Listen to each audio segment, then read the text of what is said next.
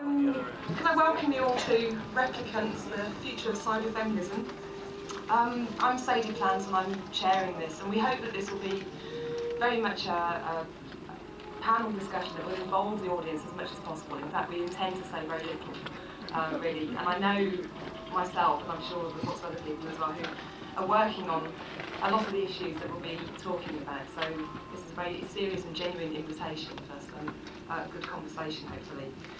Um, if I can just start by introducing the panel, I'll start over there. We have um, Francesca da Rimini, who um, is, amongst other things, connected with the VNS Matrix uh, group in Australia, and I'm sure lots of people have seen her uh, presentation. I can't remember was yesterday or the day before, now it's getting hazy. and just to point out as well that Fran will be running workshops from half past two till half past four today um, on the uh, on the net in terms of mood spaces and so on. So she'll be leaving the panel shortly, so she disappears, or when she disappears, that's why. Um, next to her is um, Josephine Starrs, also a member of the VNS Matrix Collective, who again, lots of you probably saw her presentation. And um, next to her we have Pat Cadigan, uh, some of you may have been in the uh, uh, earlier panel uh, that Pat was on. Uh, but for those who don't know, Pat's um, the author of what are widely acknowledged to be some of the best cyberpunk novels of our time, and recently won the Arthur C. Clarke Memorial Prize for Science Fiction as well for her novel Fools. And then we have Gwyneth Jones, who um, has written, uh, has two books out at the moment, White Queen and North Wind, which says are basically about sex, and one of them's about sex and war. And um, she also has a book called Kairos, which is being reprinted, which is actually set in Coventry, so that's another nice Partly set in Coventry, okay. I suppose entirely would be asking okay. Um, and we also have added uh, Camilla Griggers to our panel as well, who is based at Carnegie Mellon University um, and is uh, completing a book called Becoming Woman uh, that will be out next year, spring 96. And immediately next to me is Liana Borghi from Firenze University, uh, who again, I think a number of people will have seen her talking about vampires and cyborgs and things yesterday. Um, without setting an agenda, if I can just sort of say a few um, things, just sort of set a scene, if you like, of what this term cyberfeminism has um, been used to cover, then I'll get each member of the panel just to say a little bit about their involvement in these issues and how they've been dealing with them in their work. Uh, as you can tell, we've got academics and um, artists and writers and a very you know, good mix of people here, so they obviously all have very different um, perspectives. Um, but in the first place, I think um, just a few things to say about cyberfeminism. Um, I think probably amongst a lot of people who've been using this term, and obviously also I'm sure amongst people who haven't, that there is a widespread feeling that there is a limit to how far this term cyberfeminism is useful to us um, not least because it still has the term feminism very prominently in it. Um, and I think it would be a good idea if we didn't get too caught up in questions about what this term actually means and the questions of terminology in general. Um, but just to, in a sense, acknowledge the fact that this term has been clearly very helpful in providing an umbrella for many women and men, and of course all sorts of indeterminate um, creatures, to um, deal with some of what I think are widely acknowledged to be some of the most fascinating issues around the whole cybernetic uh, revolution. And in the first instance, I think one thing that cyberfeminism as a term has done is really to debunk the notion that women are not involved with computer technology in general. Um, and clearly from the events uh, here this weekend and also obviously from a, a, a cool and a relatively objective look at the world, it's clear that women are in fact very much involved uh, often in some of the most uh, leading and certainly in terms of the arts world, most, some of the most interesting experimental areas around VR, multimedia and uh, internet. And of course, you know, as is often said as a, as a cliche, but nevertheless is, is very well worth making a, as, a, as a significant point, women often are the people who make the computers as well. So at every level of the computer industry, clearly there is a, a very thorough involvement. So cyberfeminism, I think, has debunked that myth that uh, it's all uh, a boys' uh, field. Um, it's also obviously allowed for a lot of issues around identity, sexuality, sexual difference to really be put on the map in a context not just around technology as in the, the hardware and the software, but uh, in terms of a whole notion of a paradigm shift away from very linear-centred uh, ways of thinking about these issues and into more parallel, distributed, uh, complex um, ways of thinking which have come off uh, the whole uh, area of cybernetics, chaos theory, complexity theory, and non-linear linear dynamics generally. Um, and that too gets us away from the notion that all these issues are simply to do with the machinery um, and the sense that there is a far broader cultural shift of which technology is, is obviously very much a part, um, which is really carrying the whole uh, agenda around these issues of, of uh, sexuality and sex, gender, identity and so on.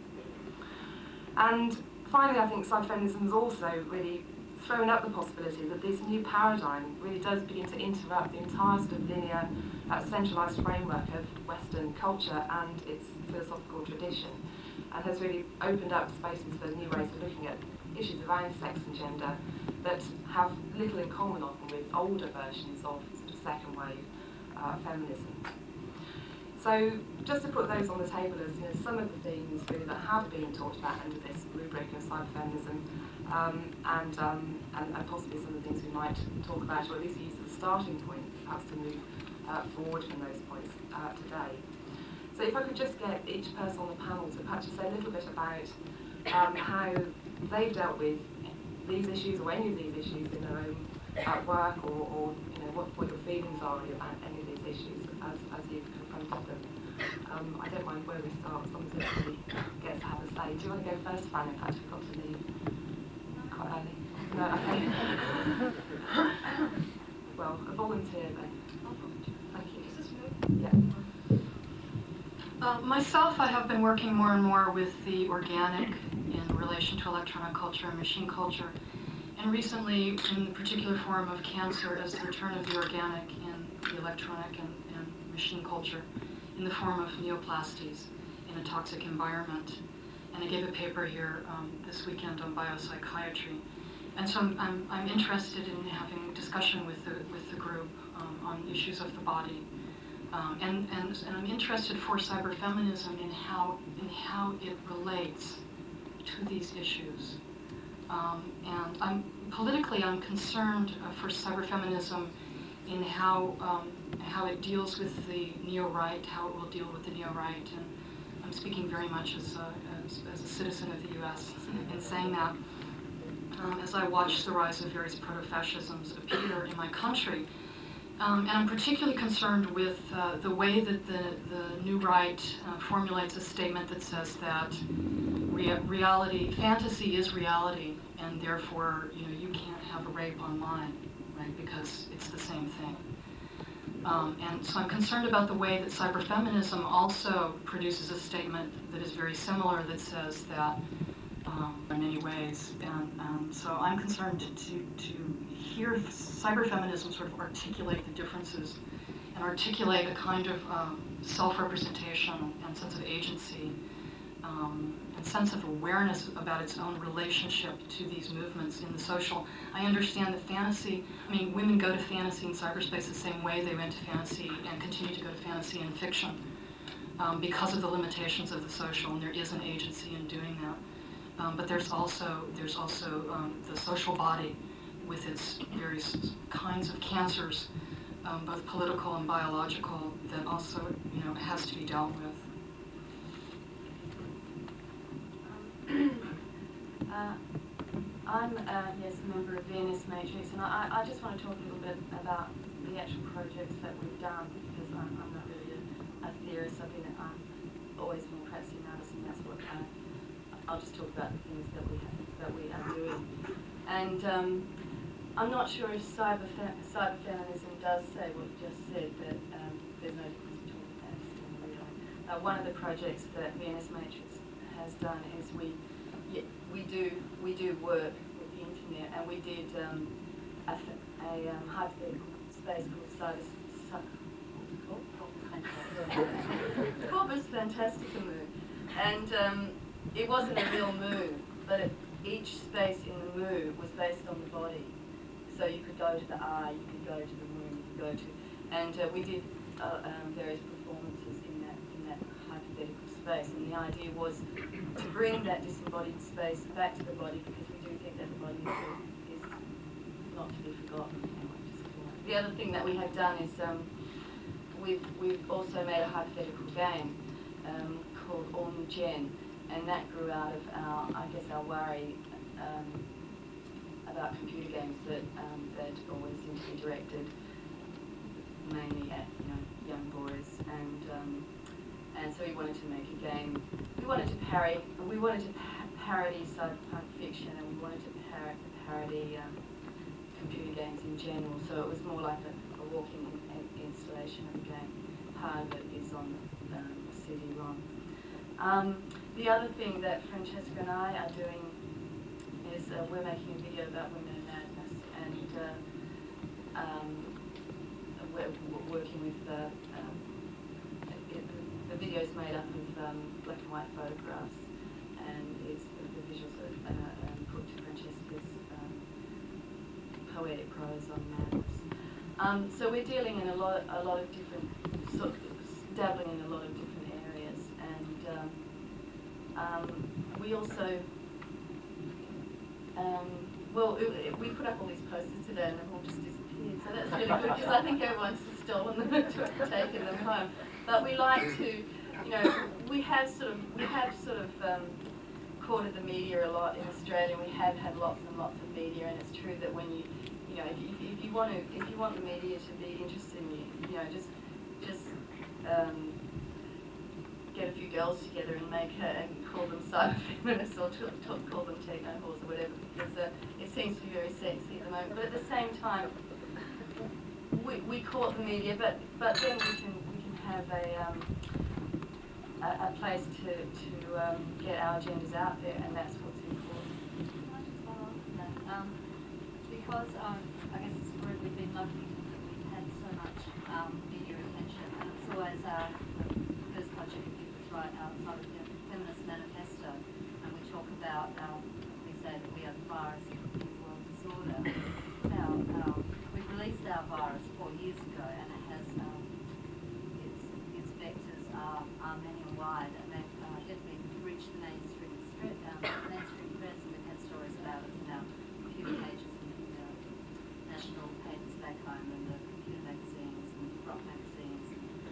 So it's sort of appearing in all sorts of areas, but I've just noticed recently that um, in style magazines, computer magazines, newspapers, there are all these stories, just outside of feminism, I guess, um, internationally it's getting some kind of cachet, I don't know if that's the right word, or credibility. That there are all these stories that are coming out about um, what a bad, spooky, horrible place the net, the internet is, and how it's, um, you know, the, the whole thing about pornography on the net and uh, women getting harassed on the net. And so I thought that just as um, this time when um, the notion is being debunked that women are involved in technology, there's a really big media push saying um, women get off the street, get something out of the net, goes to the street, and saying get back to your houses, but it's really nasty if you go out there, you're just going to be um, harassed. So that's my thing at the moment, and um, and which seems to be coming at the same time um, with the rise of, of cyber feminism. And I guess I think also, and I think cyber feminism still has a role to play about um, making access more equitable um, for the groups that we represent.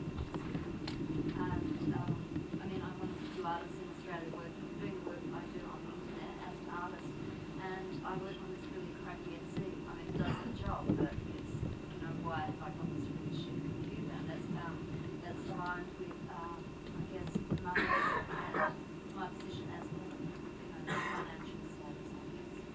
So, I mean, as long as those inequities are there in society about women having less money, we're not going to have sort of toys as the boys. You know, that kind of hang out with a lot of them. Boys, we hang out with a lot of geeky boys, and they're 20 and they've all got personal organisers and they've got power macs and all kinds of jobs, but they're kind of giving them a meal and they can spend software.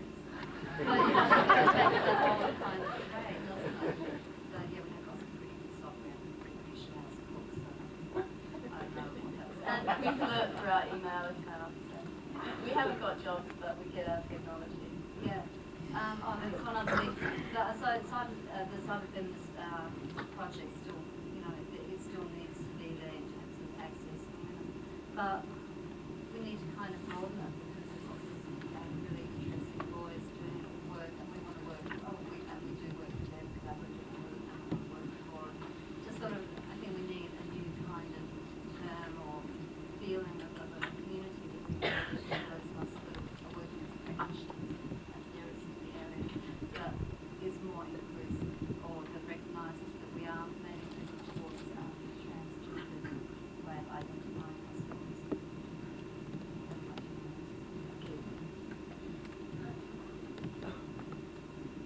I want you to call me when you reach the point where you can get the boys to cook you dinner and give you the software. We're really bad girls. We'll have to be better than us. Um, okay, now for something completely different. Um, I, I tend to, to look at the whole issue, well, I don't really have much choice about how I look at it because I'm really busy all the time. And I have a, I have a nine-year-old son. And, uh, and so as soon as he was able to sort of sit up and unassisted, you know, he sat up at my computer and it was, it was interesting watching the changes, you know, from generation to generation when, you know, when I was more acquainted with nine-year-old boys, they weren't interested in learning how to type, you know, and now they all want to know how to type. And it's, you know, for a person of my age, that's, uh, that's an interesting development. And, um, and I find that, you know, because my son is in a school system where they can have, they don't have a computer for every kid, but they have a reasonable number of computers so that, you know, the kids can get their turn on them in a reasonable period of time. And he, you know, he really doesn't think anything of it any more than, you know, I ever thought of a ballpoint pen or a notebook. And, um, but it's also interesting to watch, um, to watch what happens in my son's classroom because, um, kids, at least in America, or at least in my little portion of where I live, seem to learn most of their sexism at schools. And um, I found that, to my dismay, that even if you if you run a tight household that you know doesn't include any ethnic slurs as part of the house vocabulary, your kid will go out and bring them back. And uh, if you haven't covered what they mean, it can uh, you can hear it in a very untimely uh, way. But um, the girls in the class tend to be divided, you know, into, you know, the, the ones that aren't afraid of the computer and the ones that are. And generally, it's not as, not a hard and fast rule, but the girls who do not have older sisters are not afraid of the computer. More, there are more of them who are not afraid of the computer than ones who have older sisters who are afraid of the computer.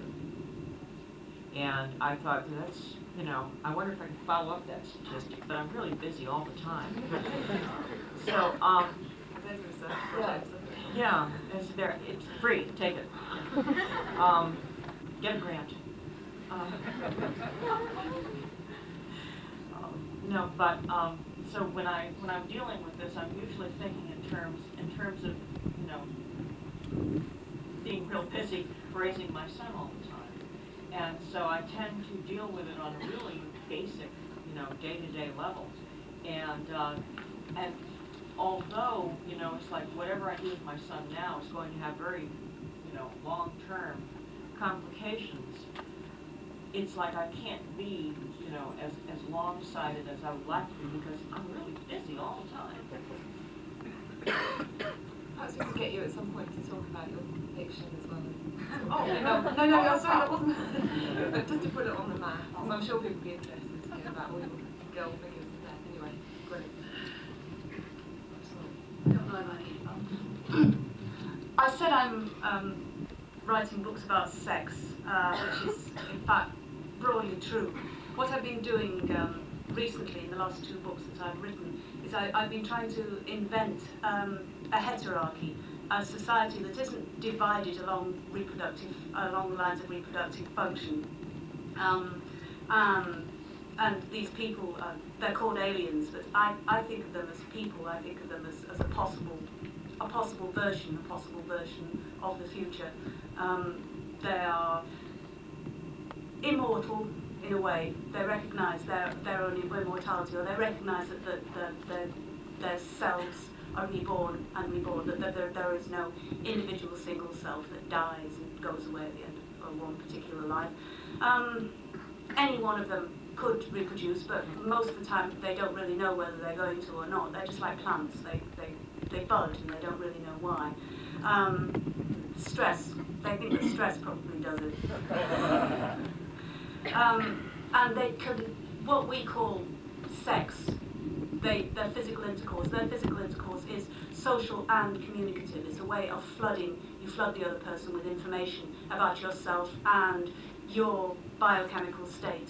And that's the way information passes around the, um, uh, I, I, don't want to call it a superorganism, I'd rather call it a heterarchy, passes around this society of different versions. They look on themselves as different versions of different versions of what, what they regard as a, a single or indefinite self. Um, that's basically what, I, what I'm writing about at the moment. There's a, there's a background of a, a war going on between the, um, the um, organising human beings, um, the gender warriors. Um, I've seen from that war I described in intimate detail yesterday.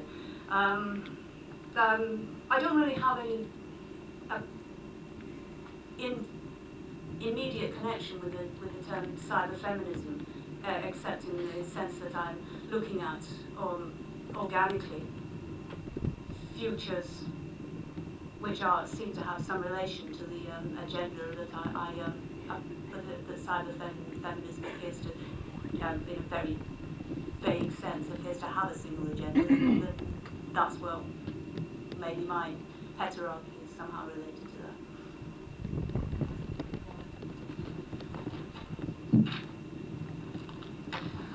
I wanted to start speaking in Italian. I shall uh, spare you the uh, um, experience.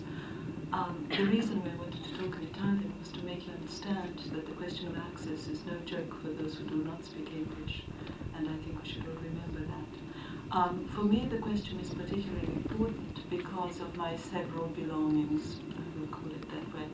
Um, I have been for many years now part of the feminist community in Italy. Um, I was one of the founding members of the Women's Bookshop. I had a, um, a publishing house, very small publishing house for a while. I have, of course, taught at the University of Bologna, the University of Florence, etc., etc. But I think that things changed for me vis-a-vis technology, and uh, the day when, for some reason that I hadn't been able to figure out yet, probably never will, Rosi Braidotti picked me up out of Italy to work on a science fiction project. I had been working for many years in science fiction and uh, sort of the, sort femi- the, the soft feminist side of it and she roped me into a project uh, dealing with gender and technology. So I'm very young to this milieu, and you have to forgive all my silences as well as my inadequacies. I mean, this is all I have to offer. I, um, I've worked with Rosi and the Utrecht project for the best part of four years now, and we have done several things. Um, I, I have, of course, been teaching um, uh, what I would call cyberfeminism, which is of course not cyberfeminism at all, it's just some version of uh, my interaction with a view of the world which owes a lot to Teresa Guattari on the one hand, Teresa de Lauretis an awful lot, an awful lot really to Rosi Braidotti and other theoreticians. And I would add somebody who's become very important for me, and that is Donna Haraway, um, my translation of a Cyborg Manifesto and as well as other essays just came out in Italy. And uh, if you've read the manifesto, which I'm sure you all have, you know how difficult it was to translate it. But it wasn't a question of translating it, it was a question of, becoming the text in a way, which was the very, very difficult um, thing for me to do. And also, I have been teaching now for the past three years my version, again, of what I managed to pick up here and there with great modesty and gratitude from people like you, um, whom, I thank you whom I thank very much for this opportunity.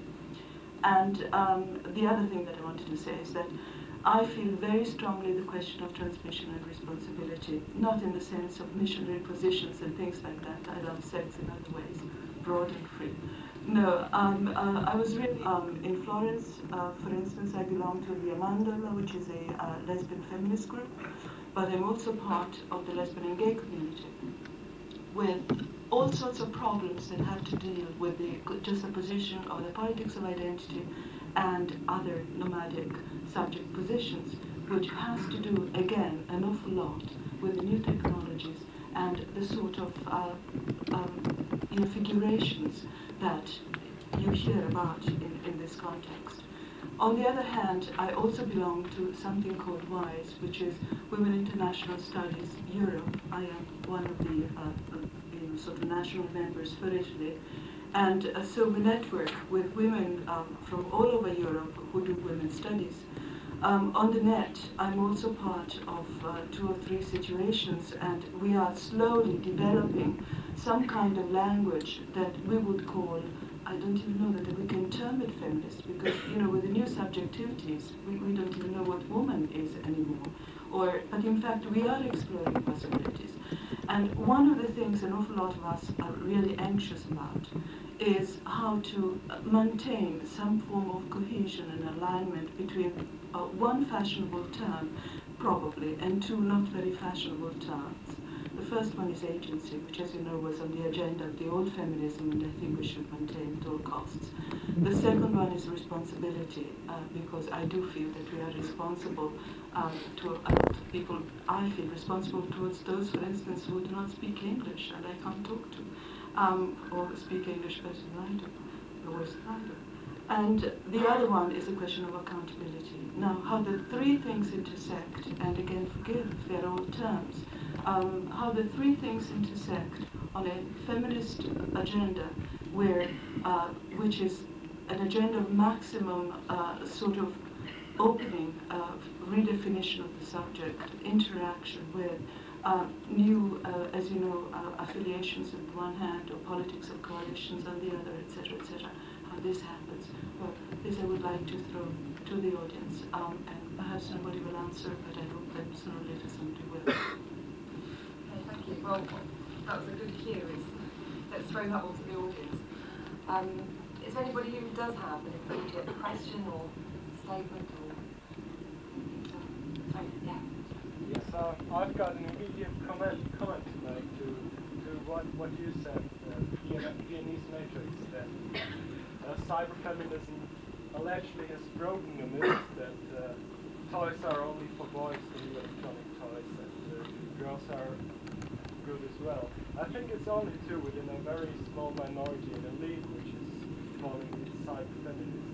The vast majority of people still, if you look at the internet, there are certainly more than 90% of all internet users are still are still male, I think. It's two to one now.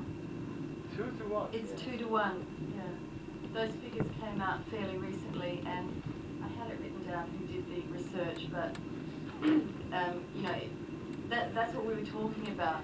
The propaganda that that only that that only five percent of people on the internet are women. It's not true. The, the, the figure now one. Yes, but let's say among the people among the people who are, who are putting up websites, for example, I think if, uh, feminists, uh, if feminists want, want to attract women or want to make women's voice heard on that, they will have to introduce gimmicky websites. And, uh, Go to Geek Girl, Geek Girl website out of Australia. Exactly, things like Geek, like Geek Girl, magazines like that. There have to be more.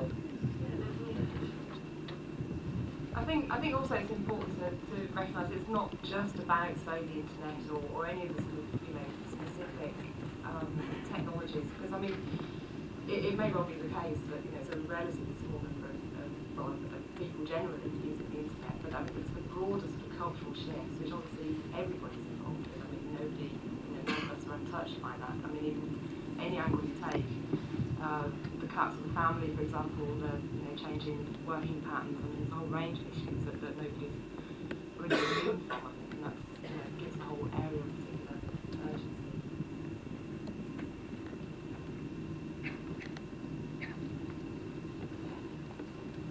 Just wanted to ask the panel um, with regards to fiction.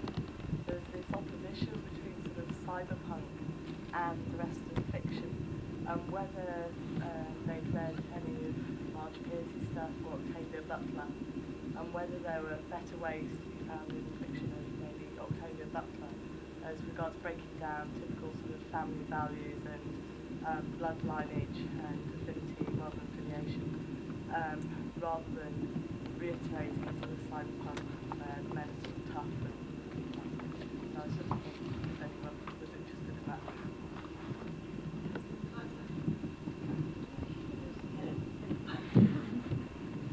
I'm not sure about this, the, the problem about cyberpunk being separated from all other fiction. You could, you could separate any kind of fiction from all other fiction temporarily. It's, it's, it's not a, um, an essential separation.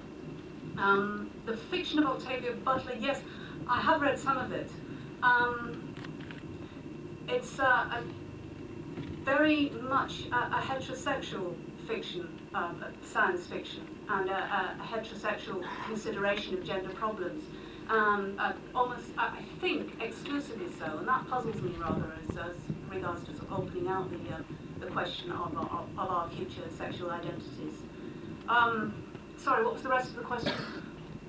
No, I was just seeing whether anyone, it wasn't so much that cyberpunk's seen as different, that cyberpunk's used in more postmodern discourse than, rather than other fiction. Yeah, it, it really it, it amuses me the, the number of people who've read Neuromancer, or at least believe they should have read Neuromancer, who don't read any other science fiction at all. It's, it's quite strange to me as a science fiction reader and critic to come to a, a conference like this and see science fiction being enacted in front of me and thinking, uh, uh, yeah, that's okay, I read that 20 years ago. And uh, this is, it, it must be, I, I, it must be strange for people coming to this experience without a context and uh, there's um, a lot a lot more to science fiction than uh, Neuromancer or to um, or, a lot more to science fiction than cyberpunk.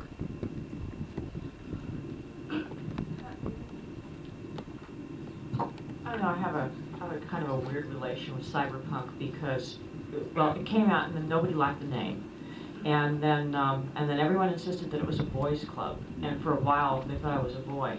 But then, you know, I was exposed. I was outed as a woman. a shattering experience. I was outed as a woman, and so the, the, the thought that kept getting back to me anyway was, cyberpunk is a boys' club. Pat Cadigan is not a boy. Therefore, Pat Cadigan is not a cyberpunk. Um, and, but you don't like the name anyway, you know? so relax. But um, I always felt a lot of the opposition within the science fiction field to cyberpunk was that, and this is probably why it, it was called punk to begin with, it happened without anyone's permission. You know, it's like it didn't it didn't ask the the old boys network if they could please come be in the magazines now and write some books. It just it just happened, and I think a number of people were just caught napping by it. Um, you know, now I don't think it's any big deal. When I say cyberpunk, I'm and I reach for a term, I reach for the term that everyone will recognize right away. You know, and it's like, oh, now you know what I'm talking about. You know, of course now I know what you're talking about. But um, you know, it's like, well, if we could get a better word, you know, if we could all agree on a better word, you know, then I'd use that. But you know, in the meantime, um, yeah, I, I think, think it's, yeah, there's no use, there's really no use fighting labels. Yeah. Just just take the label and, and uh, let people um, let people use the label if you like and go on doing whatever it was you were doing before. But I, I have a I prefer the term cyberspace fiction to cyberpunk fiction. I think it's it's um, wider and it gets away from this this image of the um, uh, the cool kid in the vegetarian black leather jacket and little shades with his uh, with his nanny. Uh, excuse me, boys. I'm sorry. I didn't mean to say that. I, no, I, I got to resist this temptation. No, when people ask me what I write, I tell them I write about the near future, you know, and here, you deal with it, you know, call it whatever you want. Do you ever think of um, working with hypertext, hyperfiction, but, um, to, rather than getting away from the, the novel completely and, and working in a more uh, non-linear yeah, way? you know, and this is another problem of access that Liana was talking about. You know, it's like I would love to have a computer that didn't have a nervous breakdown every time I tried to use a hypertext program on it. I, I can teach you hypertext. it's good. It's, it's the computer. It's, it's the computer that I own that isn't up to the task. With my essay. Yeah, I print it out. I frequently do. And I think there's really interesting stuff happening with hypertext fiction, fictions and also fiction. Some interesting things that Francesca's doing on the net is actually interactive fiction, you know, so it's like performing fiction as it happens. I like the idea of, of hypertext fiction. It seems to be a bit of a horse's carriage at the moment. It's not really up, it's not really anywhere near, it doesn't seem to be up to what I imagine it going to be. Um, I, I had talked about this last year at Sussex University. Got into a lot of bother for some, I, I, some reason I didn't understand it. It was something about Shakespeare, wasn't it? Yeah, Shakespeare. Um, um, I, I was saying that I, I like I like the idea of, of, of everybody always talks about science fiction novels as though, oh, it can be read on many different levels, which immediately suggests to me again, and I like to think of people saying, did you get into the metaphysics yet? It's through the murder scene. And I love the idea of, of one of my novels being treated like that, but I'm far too lazy to do it myself. I'd like to just give it to somebody and, and have them produce the hypertext. I also like, this is what got me into bother last year, I like the idea that I write a book, I compose a book, I do it, and the book it, it exists in some form, it, it's little black, black marks on paper, and uh, then it gets reproduced a, a few thousand times and it gets sold, and every one of those is identical and remains identical forever. So I kind of, I like the idea of, of composing a, a novel which will then be sold and each person who reads it will make it into a different piece of art. I like that idea very much. Apart from, the, apart from anything else, I like the idea that I would then have the original and the only copy of the original piece of art, which would um, restore value to. Um, to uh, this is, yeah, I, I, I just put this uh, forward as a throwaway prospect for the distant future, and I found myself in an argument that I didn't understand. I had to, I had to get out of it quickly. Can we perhaps just take a couple of points and hope that we might spark, spark off a bit of a debate? If we take like say three people to start with and see what comes out of that one, let's be a very possible. Yeah, I just really wanted to raise the academic issue here about the research into materialism and feminism. It seems to me that um, since enlightenment men have tried to transcend the body and there's a real um, the issue of the body is coming back again. Women have been acutely aware of the body. Um, I'm, I'm unfortunately I think that during the 70s um, women have been trying to reclaim the body also through psychoanalysis, which in fact again is a sign of transcendence in my opinion. But the researchers um, in works like this Guitar serious approach. I'm wondering what the panel thinks of the implications of feminism and essentialism. So collectively, yeah. Um, just, just to find out who um, was reading Cyberpunk novels.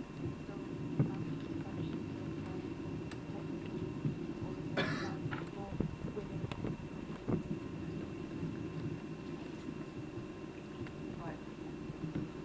Uh, I'd like to know what the panel think of the uh, separatist movement in feminism. And given that you can set up a site these days really easily and make it as password protected as you want, whether that's an experiment which might be easier to try. It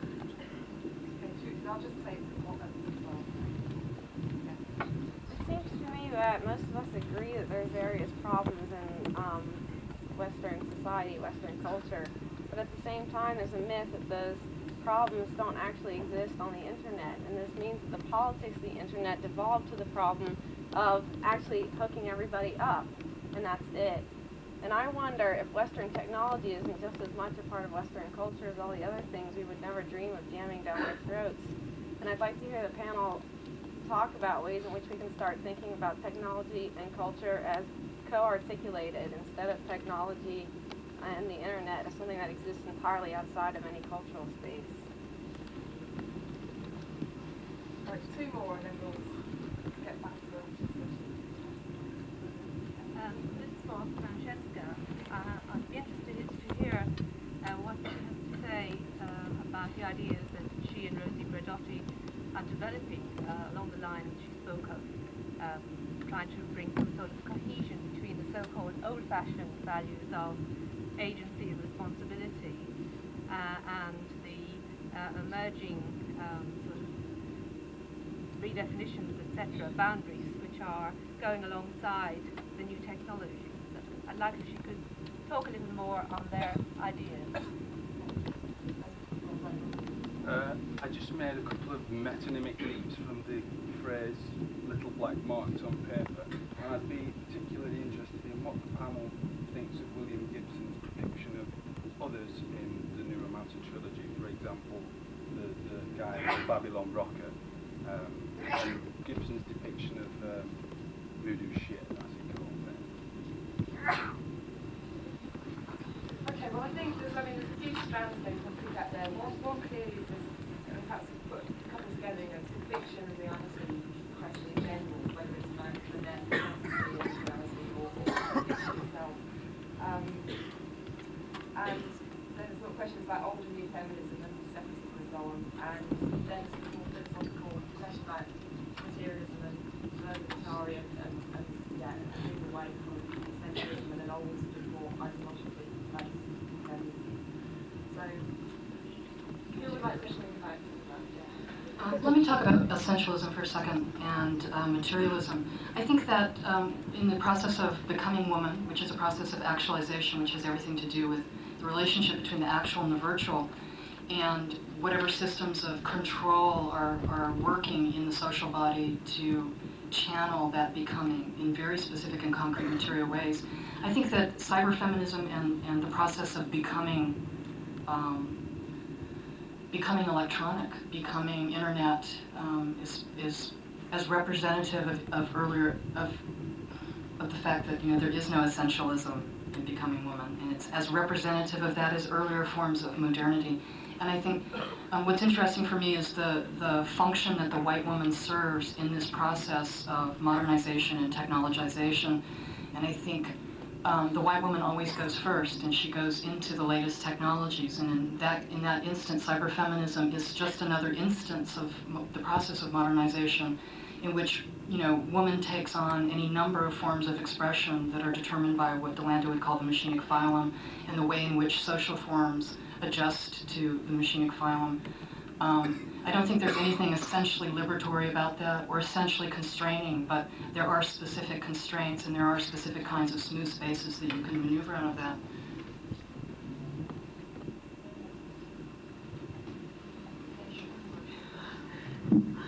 Uh, you asked me a very hard one. Um, for one thing, um, you know, clearly what Rosi Braidotti is doing is so far ahead of what I could possibly do, partly because she speaks the language of philosophy. I'm just a literary person, and I deal with texts um, uh, and ideas as well, but ideas embodied in literature mostly.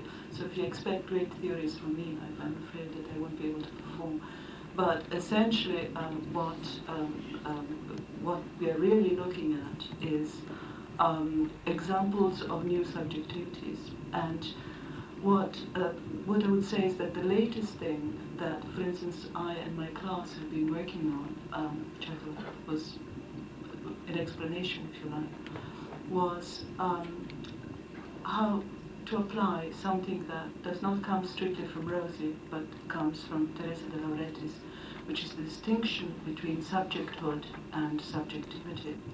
And we thought that uh, the concept of identity, seen in terms of um, a sort of um, um, embodied and um, situated knowledge and of the subject, uh, which you would have in the, in the concept of subjecthood, would um, sort of open out all sorts of inquiries and all sorts of reflections or uh, thoughts and or to, towards the experiences that you have when uh, you are in fact in the world, in reality itself.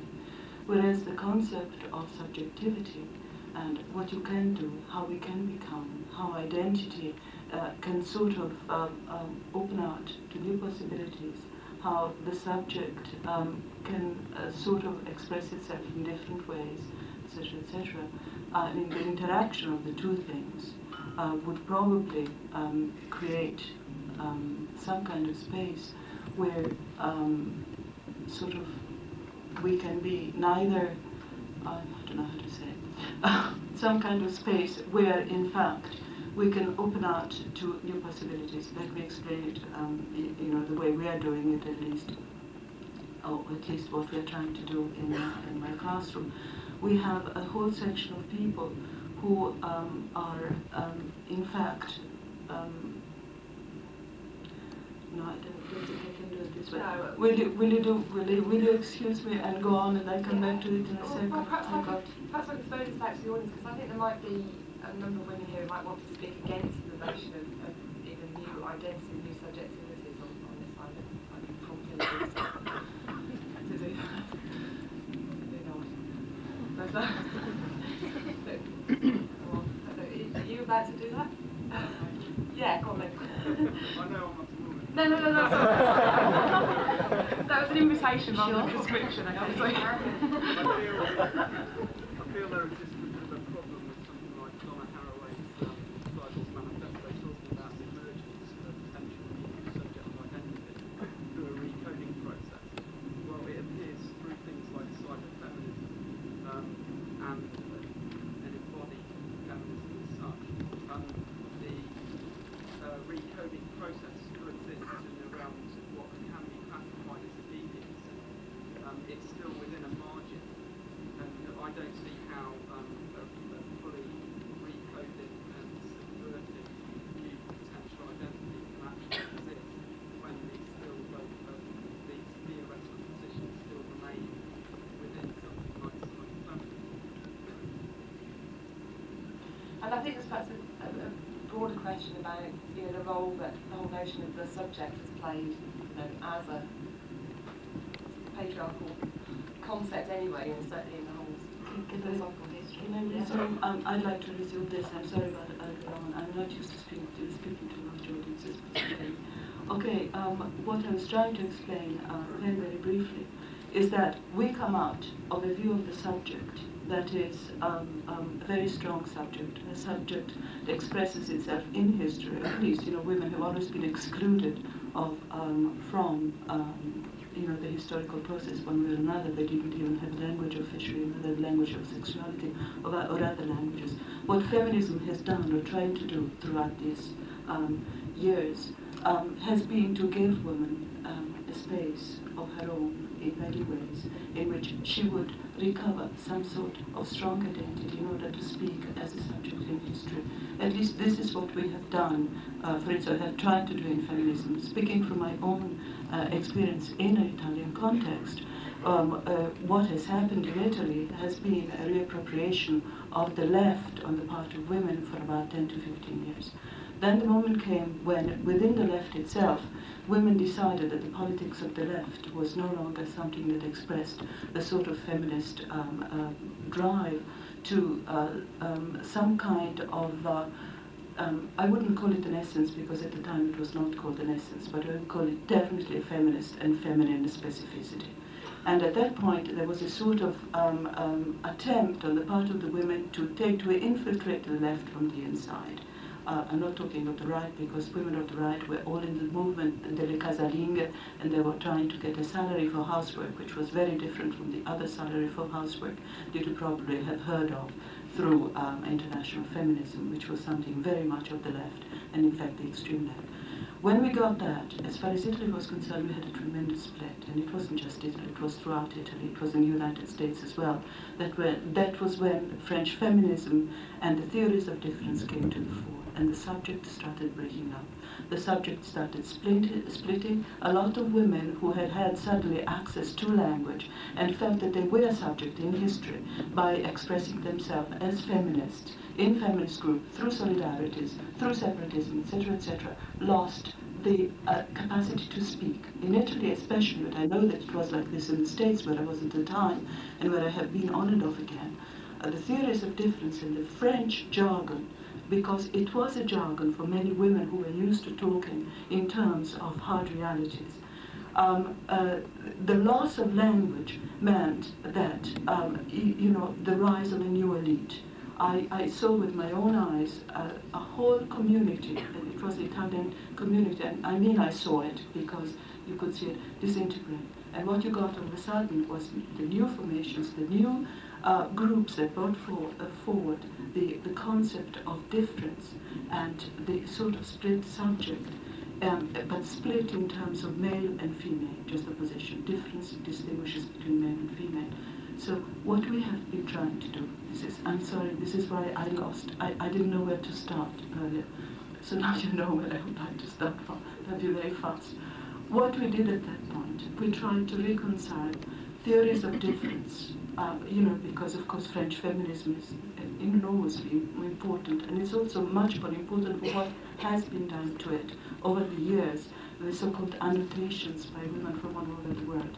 And on the other hand, some kind of, uh, you know, feminism that in, fact, in fact spoke again of the materiality of the world, of the materiality of the subject. What Utrecht has done, but it's not just Utrecht, it's happening all over, and I mean, uh, the um, um, sort of program on the history of consciousness in Santa Cruz has been so important working with Utrecht because what that has meant, do you understand, in terms of the, uh, of the technologies and of a rereading of the map of the world in terms of uh, uh, parameters that were not there before and are certainly not there in French theories. You understand that? So what we have tried to do through Deleuze and Guattari, and not so much through Irigaray and Cixous clearly, is to reread um, the subject so that um, race, class, and gender, as well as other differences, as well as difference, um, would sort of all be accounted for in a fragmented, nomadic subject that, however, um, can sort of uh, find itself in, in dialogue, uh, you know, with just opposed and contrasting parts of the self that I was talking about, the question of subjecthood subjectivity as a codification of this possible schizoid su- subject, as we call it, in ways that are fertile and can be applied to the new communities that are uh, sort of coming up all over the world. I must say that this community, a women's community, so the question of separatism, as far as I'm concerned, is uh, a question of, of, of, alliances and affinities uh, based on certain topics um, you know, normally we inhabit the spaces that are women's spaces, but of course we share. It's the question of the body, I hold my body, but we share as one used to say. I want to say something about the relationship of uh, cybersex to the kind of community that you're talking about in the formation of politics. And I want to say specifically that I think cybersex can run the danger of becoming another form of sort of private mass consumption which I think print pornography or video pornography perfectly epitomizes, in that it channels your social relations to the final act of private masturbation. And I think in that sense, if it does that, if it ends up doing that, that it is in fact anti-producing the kind of community that these kinds of politics come out of. And I think that's something to think about. Because, and I say that because I think so many people think about cyber sex when they think about cyberfeminism. You, what is what is cyber sex it's like it's like it's like going. It would be no. It's like any kind of. It's what porn does. I mean, if you go you go online, you go into a MOO, you have a sexual play with somebody, and you end up masturbating. What that does is it stands in the place of act of the actual social relations that I think are signified by sexual relations, which can be potentially extremely radical. Um, you know, as long as that's not standing in the place of those actual non-grammatical relations. I mean, the thing about the, radic the radical potential of sexual relations is that it, it can and often does threaten to break the grammatical relations that are organized through language in the social kinship, class, race, for example, right? You're not supposed to have sex with a person of another color, blah, blah, blah. And sexual relations, you know, where, where you close your mouth, you stop talking, or you open your mouth and stick out your tongue because you're not talking and you have that kind of sexual relation, those are potentially extremely radical. But I think pornography, the porn industry in terms of, you know, print, photographic, and video porn, have successfully channeled the potential radicality of those relations into private mass consumption where you end up just masturbating. As long as it doesn't, you know, as long as sex on the net doesn't stand in the place of, the, of those actual social relations, then it's okay. But, but, but I mean, when you say it's a, perhaps a bit of a mistake to really privilege sex in that way, it's like it's pre-Foucauldian, that it's like yeah. that's where it's at, and that is the real actual social no, I mean, I think everything else is somehow. Yeah, no, I mean, I think I think that that's just one. Sexual relations are one kind of social relation. There are many others. Uh, there are political relations more overtly. Yeah. Can we also look uh, at the net as something superior? Uh, I don't. I think what you're doing and what you're saying is that you're reading uh, uh, sex on the net as a metaphor, as a trope, uh, in a very Jamesonian way almost. And then what does this, you know, what is I am privileging the body, and so I'm, I'm, making the distinction on the fact of whether you actually have a sexual relation with another body or you masturbate by yourself with your computer. But uh, no, I think that is, that is what you're talking about. I mean, uh, I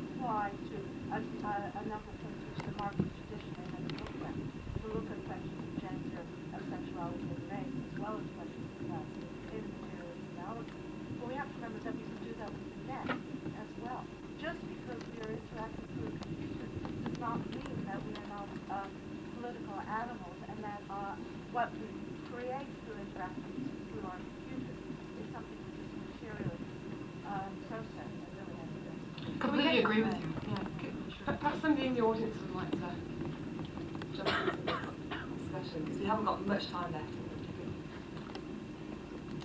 I say you, said that cyber when people think of cyber feminism, they think of cyber sex, but I think there's the other sort of cyber sex which um, uh, people like cyber SM are making, which is, you know, these body suits.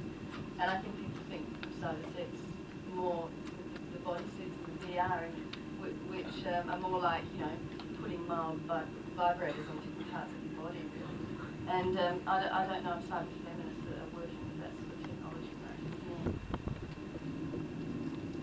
So I just don't know about that, that whether that the association. I don't know, does the audience have that association?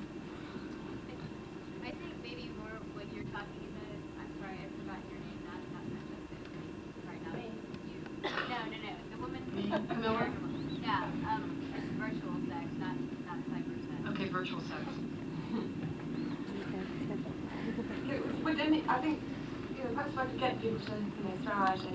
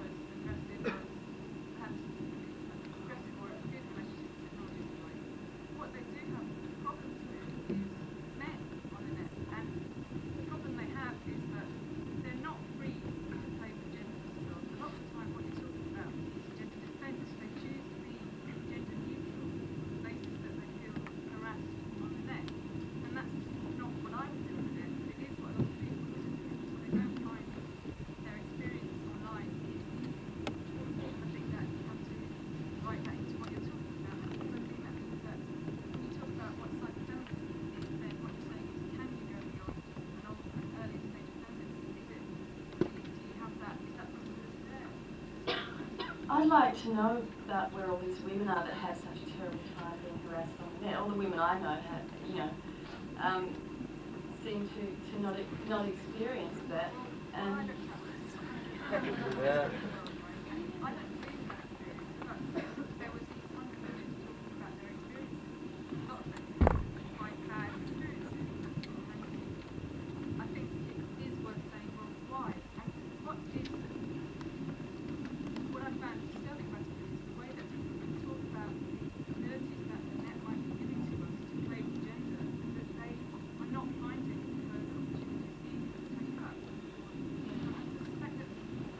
I think it, it, may be the ease is, yeah, yeah, you know, never going to be there. I think the difficulty is widely knowledge? yeah. Um, I'd, like, oh, sorry, not you, sorry. I'd like to, um, just, I know it's like an argument, so I'd like to just sort of throw, in, I'd like to challenge the assumption that going on the net as a woman or being part of, say, a cyber feminist, very loose umbrella on the net, should be safe, should be easy. Because I actually think that women do, we do ourselves a great disservice when we kind of something, I don't mean this in a kind of masochistic way, but especially when there's something new and exciting, it needs tools, and I use that in a non-gender, like tools, men and women, or just women if that's, if, if that's what you're interested in. And gaining tools and new skills isn't easy, and it is difficult, and it's dangerous, and I'd be really interested to hear from the panel, like, have they come up against the actual fear, you know, when you actually sit down and you feel scared because you're doing something new? Is that just to do with being a woman? I, I, want, to say, I, like, I want to say simply um, cyberspace is part of this world, and the social order in there is the same as the social order out here, and it seems to me madness to suppose it would be anything different. And um, I think that uh, I'm, I, I am I'm very wary of any idea that I should stay off the streets. But I do, uh, I've, I've talked about this with at different places. I, I do think it's a public place. It's a public place unless you take precautions and make sure that you're not in a public place. Then as soon as you're part of the uh, network of networks, then you're in public. And um, if, if, if you want precautions, yeah, you want precautions, you want safety nets, you want you want um, prohibitions like uh, women will only sit at the front end of the bus and men will sit at the back end of the bus. So if a woman sits at the back end of the bus, well that's her problem. Yeah, but all I'm trying to say is that there's, there's a difference between the scariness of a real threat, like is it safe for a woman to walk down the street in the middle of the night? I mean, a lot of women would really avoid doing that. There's a difference between that scariness, which you can say is material scariness, if you like, to, to make it a crude sort of Yeah. distinction, and the actual scariness of something that is genuinely new and has a possibility. And I think those are two rather different things, which You think, you think that's something that can be read either way. You can read it as a thrill, or you can read it as something that should, uh, should uh, warn you to stop doing whatever. Well, I think there's a, I don't think, um, I mean, it would be great in a way if they were, if you could divide them, but I don't think they always divide, and I think that's the excitement Well, you get, you get a rush, you get a rush, and you can call it fear and say, well, I better stop doing this, it's frightening. Or you can call it excitement say, well, I better see what's happening, this is, uh, this is, weird and strange. Um, and I, I, you saying that women tend, possibly women tend to uh, veer towards the, um, the, the fear interpretation of an adrenaline Yeah, quite often. And I think often maybe women assume that men don't feel frightened of something. Yes. As well. I mean, Yes. it's just a big, it's a question really, I don't have an answer. I had the experience of being inadvertently gender neutral on a net. And, and it was- wasn't something that I did on purpose, but um, on one of the uh, commercial nets, I had inadvertently written my profile so that I didn't state explicitly, explicitly which, which flavor I was. And, um, and so I'd be online talking to somebody, and I would get cruised for sex. And, uh, and would say, are you M or F? And I'd say, why? and so they say, because I feel like having sex with somebody. And, and, and I'd say, well, I'm not your type. And they would always assume that meant, these were always, always seemed to be heterosexual people, at least in Handle, looking for someone of the um, complementary sex. Um, and in my experience, all but one were men. But none of them harassed me unduly, you know, or chased after me after I indicated that I wasn't interested, you know. And of course, on a commercial net, you, you know, report this, this sort of behavior and they throw whoever it is off. But, um, you know, that's, that's different than just accessing the internet of connection. I have heard, um, from, uh, Amy Bruckman, who does, I think, MediaMOO at MIT. She has, um, she has told about women who have entered MOO and then told men that if you really want a kind of uncomfortable experience, go into the woman's name. Can I, oh, can I add? Yeah, quick. I just wanted to add something very quickly. One thing about uh, a word of appreciation for what Francesca has done the other evening. Um, uh, you, most of you were here, and when she said that she didn't have any problems with men because she had, uh, she sort of could develop talents and, and uh, talents, you know, of course, and all sorts of weapons in order to become herself the aggressor. That is because she feels that she can master the and I appreciated that very much, and I liked this sort of uh, uh, image of, uh, of the superwoman occupying the net and uh, sort of fighting off um, aggressors. I don't know enough about the medium to um, sort of to realize how whether this is something a technique of self-defense that we can all learn the way that we learn other techniques, in which case you have, I think, a program that you should quickly and fast so that we can all enjoy. The- oh, can I just finish very quickly? The other thing is, is about Amy Bruckman, uh, um, because in April they had a conference on cyberfeminism, and I haven't been able to get any uh, very detailed information. She sent off a lot of possible papers, but anybody who's interested can actually send her a message at MIT. I just want to say it's also a great Thank you.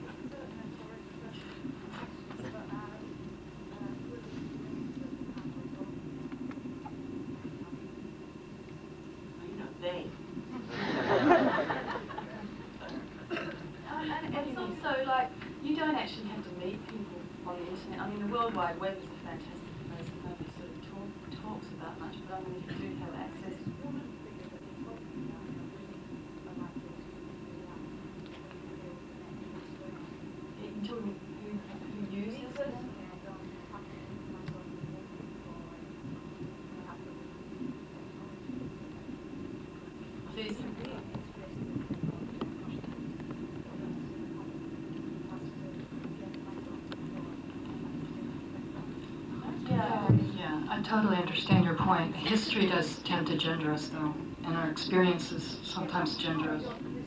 Yeah, yeah. Well, if you're using a search engine on, on the World Wide Web and you're just like, oh, I really want to know about I don't know, conspiracy theories or something like that, I mean, you don't just I am a woman on the World Wide Web. You're right, you know, I mean, it's a great tool for accessing information and for doing research. And, you know, you can spend hours and you never come across a person. You don't have to think of yourself as otherwise.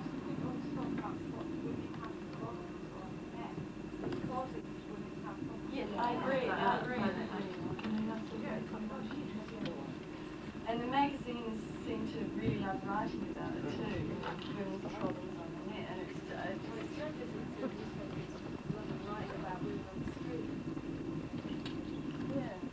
Can I, can I say slide, something very important to that? You speak English, I speak Italian. When I speak on the net, I have two subject positions available. Uno è femminile e l'altro maschile. Do you get that? I'm either female or male. So either I cover up by and, and, and sort of project myself as a male with all sorts of, of, of problems. It's the language. It's the language that does it to you. In Italian, that's what I mean. English is inflected in a different way. Italian is not. And I think that a lot of people have these problems. You see, so gender, unfortunately, is very much with us. I can I've seen on the MediaMOO a wonderful program that will erase the bulk of gender the moment you start talking. But you can't do it in my language. Unless we all agree that the one universal language is feminine, as they say. So we all go for the feminine, we assume that everybody in the net is feminine. Uh, you know, pick one gender, it, except that in my language, it is, ma- is masculine. So, problem.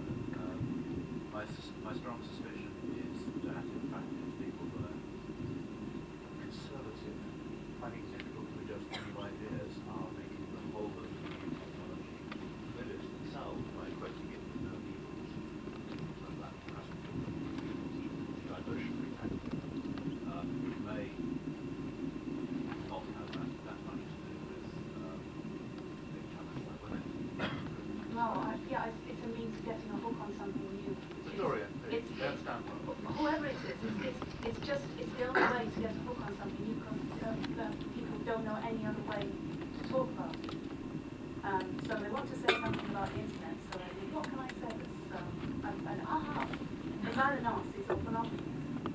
And that's, um, it, easy things to say. I want to say one more um, thing before we finish up. As a feminist, one of my responses to cyberspace has been to launch a e-journal called Cultronix, and its goal, one of its goals is to put women online. So if anyone would like to talk to me about that, we help. It's mostly produced by women, and we help. You know, we, we will do programming for you if you don't know how to do it. So if anyone wants to talk to me about that, I'd love to talk to you. Well, then at one point, trying to follow as a seed for an idea. I don't know how many people know the fact that uh, Alan Turing, the original test, was not something you tell a machine, a human, on teletype television. Can you tell a woman from that? there is something philosophical, mathematically deep in the question of identity there, because I've been trying on those device tests, a simple question. There aren't Yes, I, I, There's no I, Turing test, the original difference test. And Andy Burton said that if you, if you're in a blue and you run across a woman whose name is like Susie Hot Babe, it's probably a guy. Or somebody that doubles move. Okay, I think we've got time for about, probably about three points, I think there are about three people, so, yeah. Yeah, um, can I just sort of uh, ask whether, sorry, I'll phrase this right, um, the nature of the interaction has changed, and so when we consider things like uh, pornography and representation in the past, the interaction has always been one way. We've been consumers. But what's happening now, and it's a very deep thing, is that the nature of the interaction has changed. It's become two-way, and it's become two-way permanently. You're I'm sorry, but I'm going to have to see a lot more interactive stuff before I can tell you that the experience is you can push this button now or you can push it later. No, but no, you no. have so many choices of no, buttons. No, I'm not talking about interactive software. I'm talking about the nature of interaction on the net, on the web. That the, the, the, interaction is now two-way. I talk to you, you talk to me. And if we're making up a story, we're making up a story together. I'm not reading a story that's been, been pre-prepared for me. So, of course, I- I'm bringing to the, the story that I build with you all of my past, all of my intentions, and, and you bring yours. But the, the mediation is now one of, of dialogue, whereas it wasn't I just wanted to come back to Camilla on a point earlier of um, I, I don't quite understand this, this non-productive or antisocial um, attribute you've got with masturbation because I just think, you know, whether it's one, two or three people sitting at home with a computer screen having a wank, does yeah, get or bad pornography for that matter.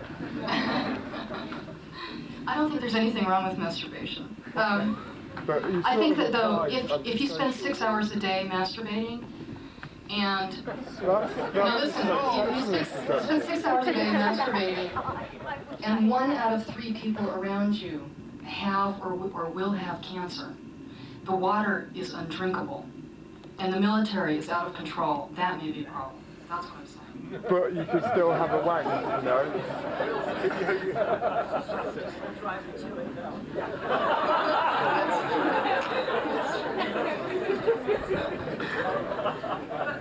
Yeah, I mean, I think there probably is a, a point here though, like, you know, what is an organism and, you know, why sort of think of, of, of you know, back to the old sense of a self, you know, playing with itself, yeah, and, and yeah, and an individuated organism, two, three machines, who's counting, I think is the broad truth of the question.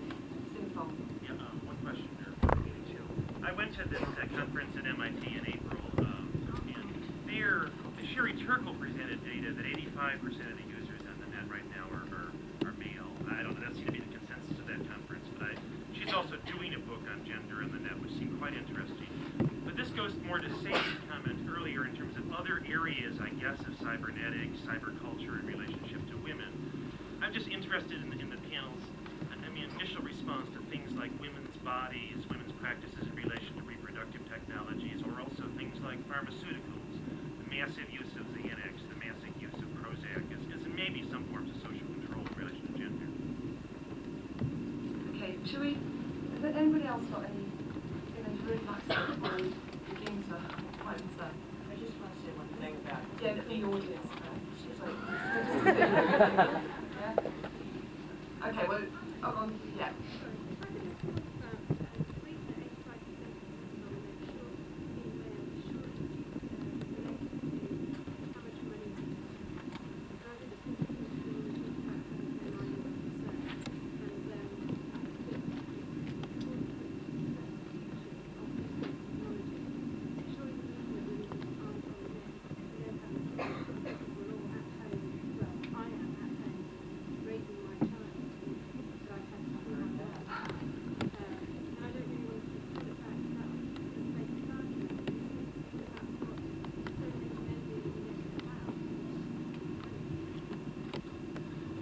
if I could get everybody on the panel perhaps just to respond to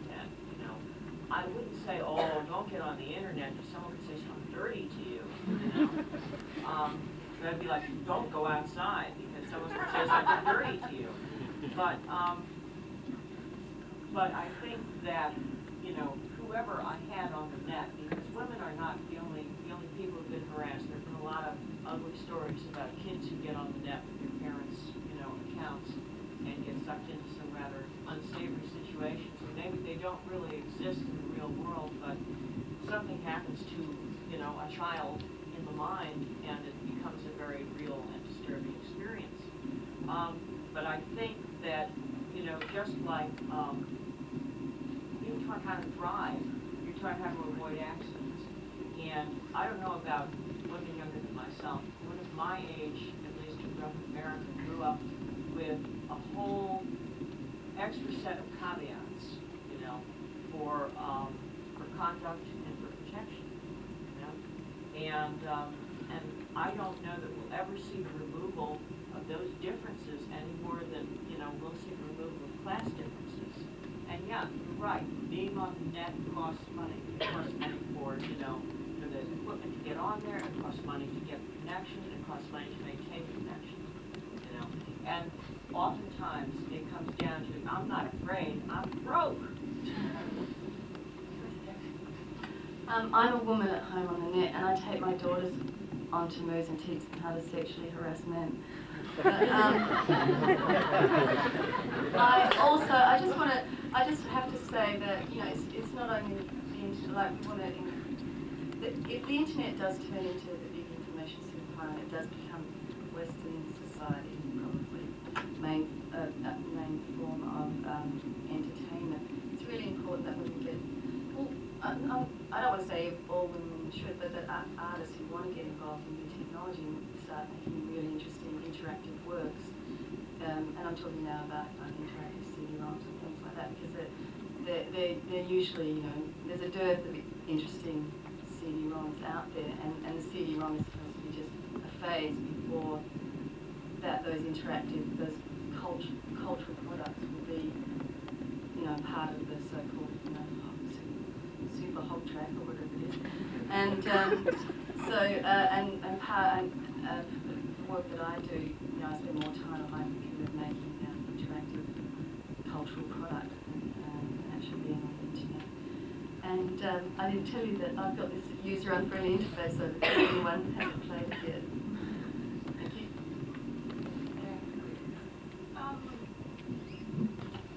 being on the internet. Um, well, I think one thing that I kept thinking of is that I'm getting a It's like when they advise you to join clubs on the back page of the magazine if you want to have a social life. Getting a modem will not make you a different person.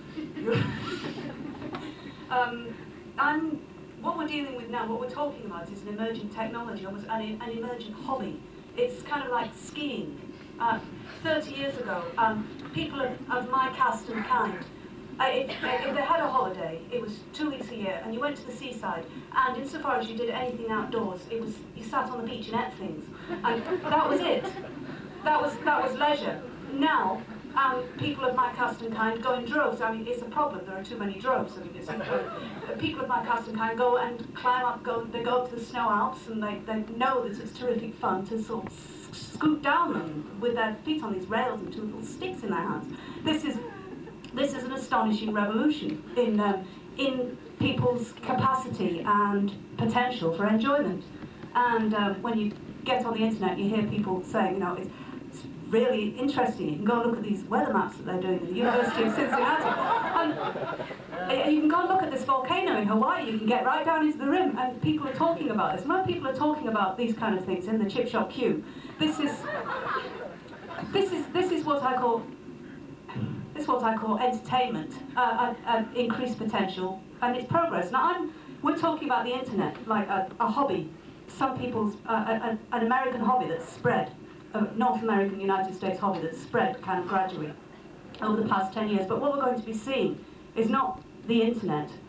I'm interested in things that are happening on a larger scale, like um, uh, the telematics project of Manchester City Council at the moment, which in the next five years is going to involve um, um, wiring up every single room in, in the um, various campuses of the various Manchester universities. And the uh, council is uh, um, organising to make it difficult for the cable layers if they don't um, wire up schools and hospitals and residences of various kinds that are on the same tracks. We're talking about uh, a new layer of communication which is going to be uh, a rather different phenomenon from this hobby that we're getting interested in at the moment.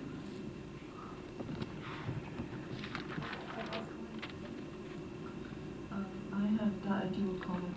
Um, the first one is um, very quickly about the issue of reproductive technologies. Um, just a tiny episode, I think you that might um, explain uh, where I'm meant, please. Um, the same weekend in March, in Italy, um, in Florence, in the city of Florence, two things happened. There was a huge convention of Italian doctors involved in reproductive technologies. And there was a very large and uh, but very intimate gathering of women, uh, feminist women and non-feminist women coming from all over Italy talking about reproductive technologies. Um, which of the two meetings do you think had the headlines and the television? Not one of the major papers mentioned that the women had met, explaining that they thought that women should have greater control of their bodies and have a say in reproductive technologies and blah, blah, blah. What really passed to all the media and was publicized, I think, all over the world, were that the doctors said that they were going uh, to bar uh, gays, unmarried women, etc., etc., from artificial insemination. That was the uh, what passed. So, I mean, if it's a, if uh, uh, reproductive technologies are very much a question of control, this is, I think, an example of who has the control politically and how feminism, cyber feminism really has uh, very little strength and, uh, and needs, in fact, uh, help from all sides. The other thing that I wanted to say was my experience on the net, which, uh, of course, as I said, I'm fairly new to it, in fact, very new to it. What I found was, I, found, I, I thought it was very shocking. I am on a women-only net, and that should give me some kind of um, uh, sort of matrix, womb-like situation, ideal situation, you mentioned. But in fact, what I get is an incredibly hierarchical system of the long-established uh, uh, persona on the net, who in fact talk to one another, uh, graciously accept uh, the one-to-one sort of, or the one-in-many answers that come from outsiders, and effectively cut off um, through censorship or just by ignoring so the pattern of acceptance or exclusion all undesirables. And I mean, if this is utopia, excuse me, if this is the new world, I mean, I think there's a lot of work to do to change it already. Well, if this is an open-ended concluding comment, uh, I haven't heard anyone talk about AIDS at this conference, so I want to um, talk about AIDS and, and, tell you that if you don't know it, the CDC is now online and it has um, it's put its Wonder network online and connected all of its HIV AIDS prevention centers onto the net. And so this opened up an opportunity for me to try and, and uh, correct one of the most obvious constraints that I feel every day as an academic and, and working on the net, and that is how to reach outside of the academic or government community to localities that are cut off and severed from this kind of exchange. And uh, the group that I've been working with is migrant farm laborers in Belle Glade, Florida, which is you know a multicultural group that have the highest per capita incidence of AIDS in this country and very high cancer rates because they're exposed to pesticides constantly. And um, so what I did was uh, have my class design trilingual documents for them in, in Spanish, English, and Creole. And then um, now the second plan is to get those documents online with the CDC so that other communities that may have, say, um, you know, Creole populations or, or whatever, Hispanic populations, could access some of those documents without having to make them up themselves. Um, so I think we all here would encourage people to experiment with the net um, in any way possible. I don't think the potentiality in any way has been fully, fully explored. Okay, well, We need to end here. I can just thank our panellists and um, and just to say that I think, you know, in spite of our perhaps hopes that um, we would have a very wide-ranging discussion, that inevitably I guess we have perhaps concentrated on issues around the net and, and just to point out that there are a whole range of, of, of other issues that I think intersect with these areas that, that hopefully are somehow filtered through um, and can be uh, picked up and run with somewhere else. Um, so if I can thank the panel and thank you for coming.